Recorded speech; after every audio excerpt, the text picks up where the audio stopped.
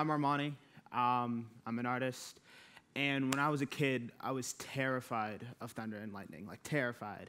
I think my family's in the audience, they could tell you I would run around the house and unplug everything and hide in the tub. It was, it was awful. But I believed that thunder and lightning was God's way of punishing me for whatever harmful and evil act I've done. Mind you, I'm a kindergartner at a time, so I don't know how much harm I could have done, but believe me, I thought I had it coming.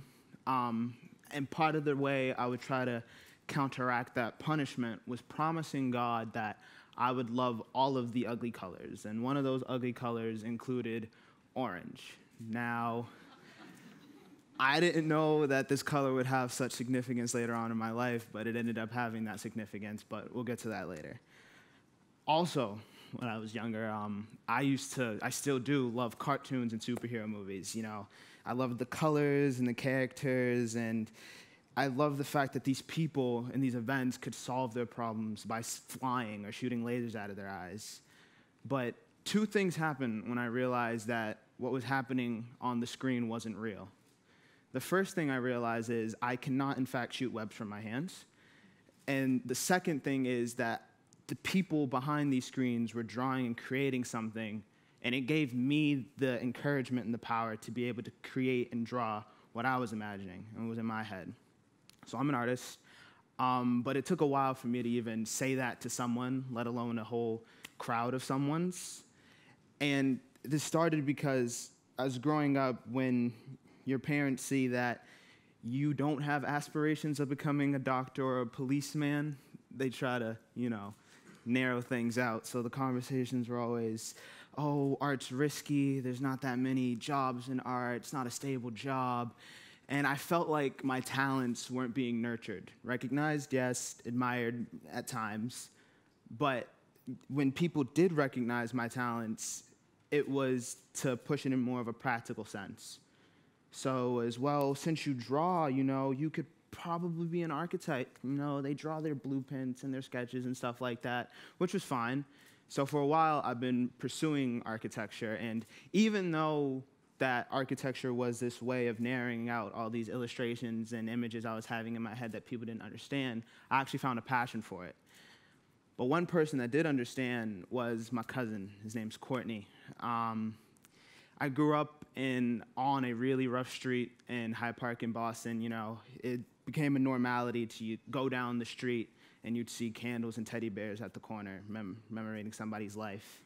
That's the kind of life that I lived. And the male role models in my house, they were on and off the streets, some of them in and out of jail. So that's the kind of environment I grew up in. So all the time I didn't see them. I was with the female representatives in my household, the women, my nana, my grandma, my aunt, and my cousins.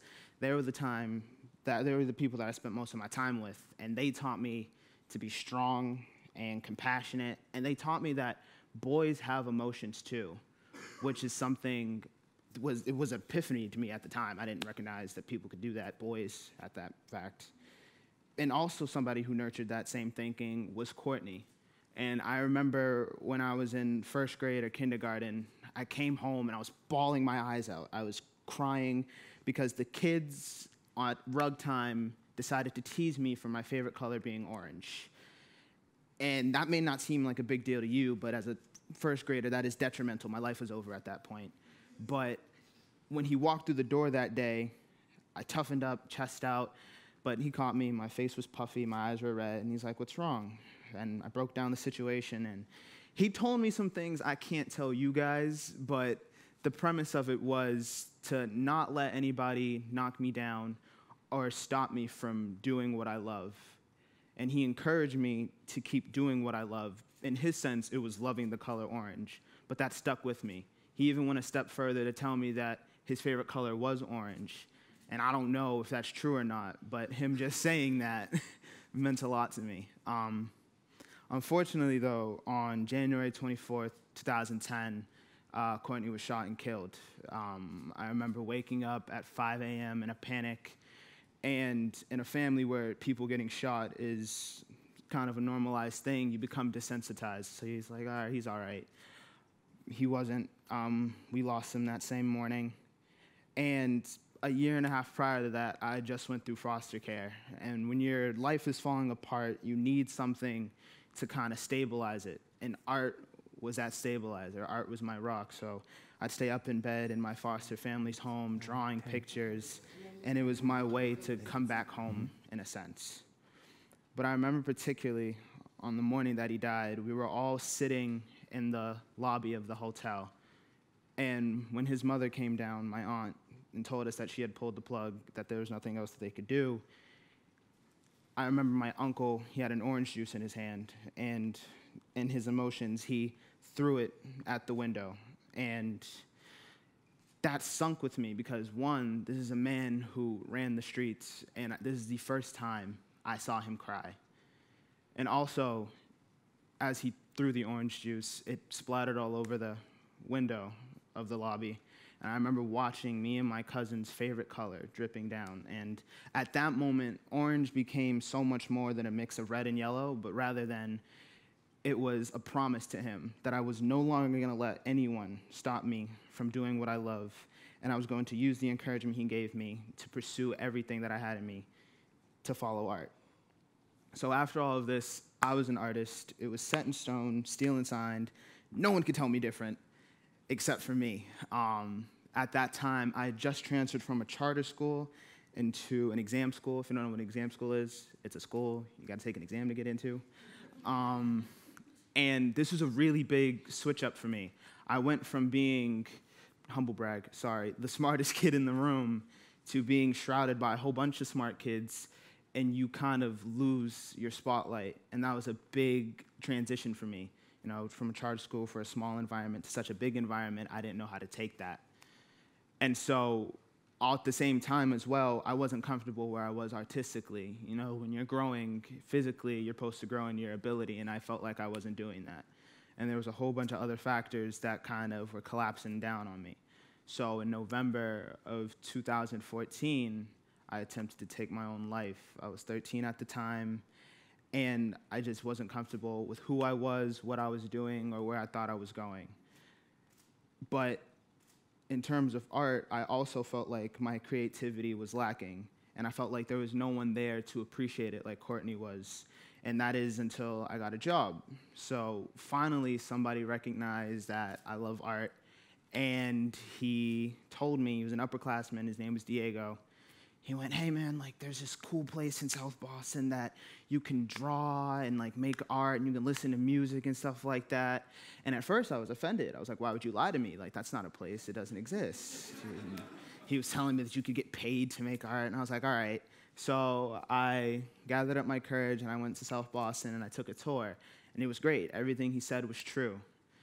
And I applied, and I got the job, and I wanted to be there. It was a place that I wanted to be where I feel like my talents were being recognized and pushed to the limits.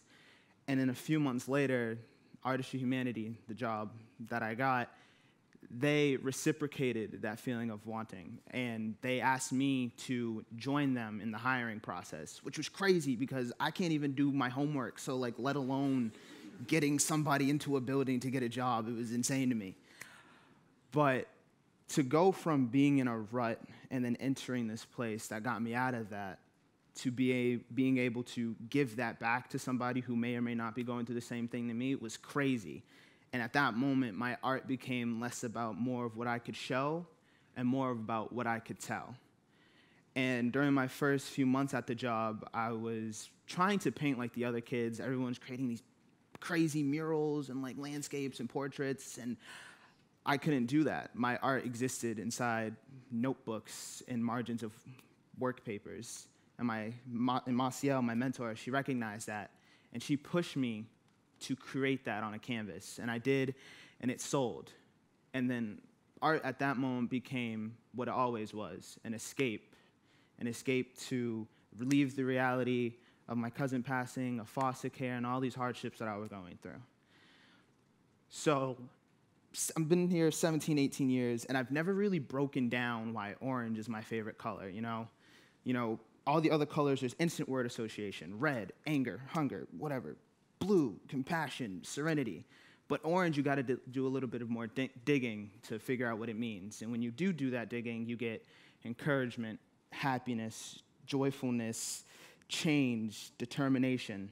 And since I'm really bad at conclusions, I can only think of one word that sums up how everything has led to here, and that's orange. Thank you.